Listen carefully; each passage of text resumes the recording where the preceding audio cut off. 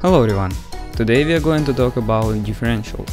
I will tell you what a differential is, why it is needed at all, what its structure is, what types of differential exist and how they differ. And also I will explain to you why a differential is both very important and at the same time is disturbing component in the car. All in order, let's get started. Also, if you like the video, please subscribe to the channel, it's completely free and you can always change your mind and your subscription will support me and encourage me to create more. Thank you, let's start talking about differentials.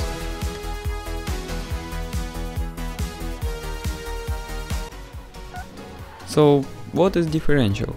A differential is a special mechanism that is located on the axle in the car it's task to make sure that wheels can spin at different speeds when needed, and it is necessary quite often. See a common example, the car is turning. When turning, the car goes through a half a circle, but this half circle will be different for the right and left wheels. Let's look at the picture. Here is our car, here is the distance it will travel, and look for the left wheels. The radius of the circle will be larger, and for the wheels that are closer to the center of the circle, the radius will be smaller. If we calculate the length of the circles, the length of the circle for the left wheels will be larger than for the right wheels. That is, they will cover different distances at the same wheel revolutions. That is, for example, the right wheels will spin, the tires will spoil, and the car will be very hard to control when turning. That's what a differential for. It relocates the rotation of the wheels so that one does not spin unnecessarily when the wheel cover different distances. I hope you understand what the differential is for, so let's move on to its structure.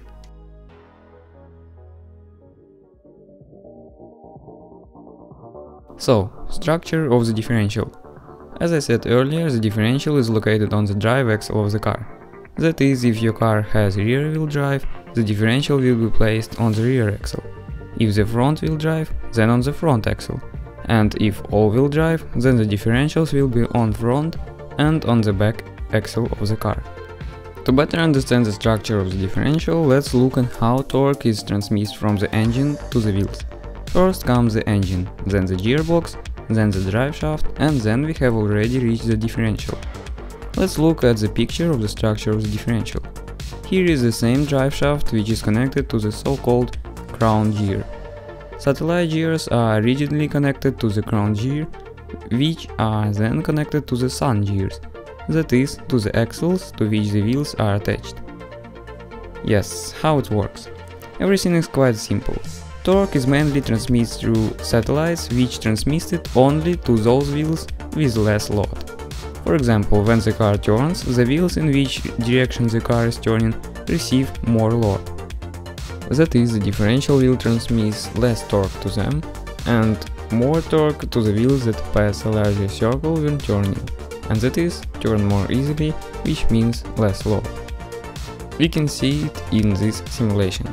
At the moment when the left wheel stops spinning for some reason, the differential begins to transfer all of the torque to the other wheel.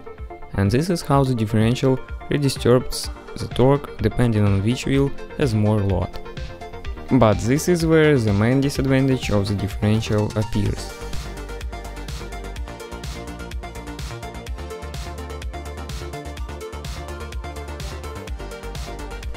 Imagine that your car is stuck in the mud.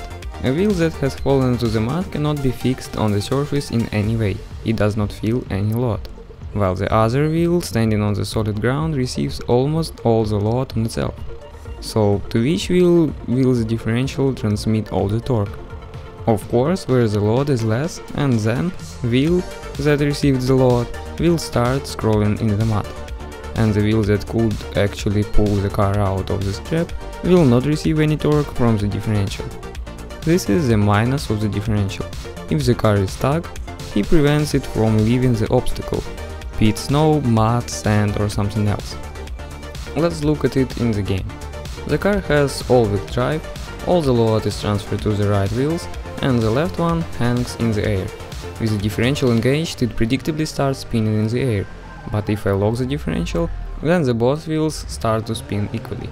That is, sometimes, especially on off-road, there is a need to lock the differential in order to pass some obstacle. In modern cars this is sometimes done automatically, that is the system notices that the wheel has started to spin and then the car locks the differential to drive away from the obstacle. Very comfortable. I hope I explained everything successfully and now you understood the structure of the differential, so let's move on to the types of differentials. There are two types of differential, interwheel and interaxle. The first is located in the housing of the rear axle, on vehicles with a rear wheel drive, or in the gearbox housing, on front wheel drive cars. The second is between the axles of all-wheel drive cars. There are also many varieties of structure of differentials, but this is a rather large topic, so I will not insert it into this video. If you would like me to make a video on different types of differential structures, then write in the comments, I will definitely make it. Well, that's all for now. Thank you very much for your attention, I hope you enjoyed the video and learned something new. Please like this video to support it I'm very grateful for your likes and don't forget that you can write comments. I always answer them. Thanks again for watching, see you in the next videos.